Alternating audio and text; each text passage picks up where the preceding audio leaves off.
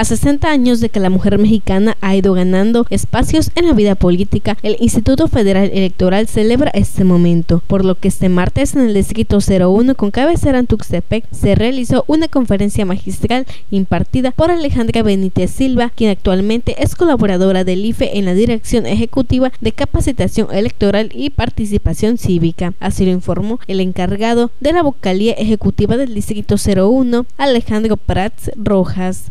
Por supuesto, por supuesto. Yo lo destacaba hace un momento.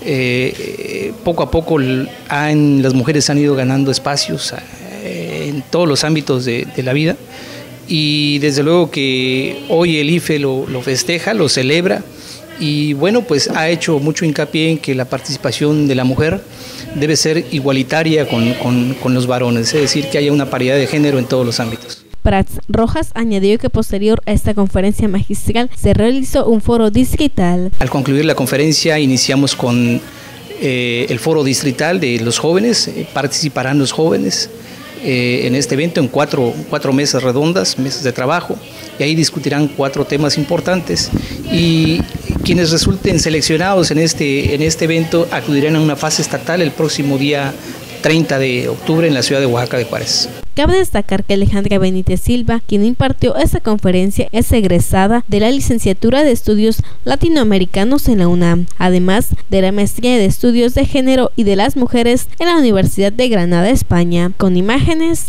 de David Barahona, informó Dora Timoteo.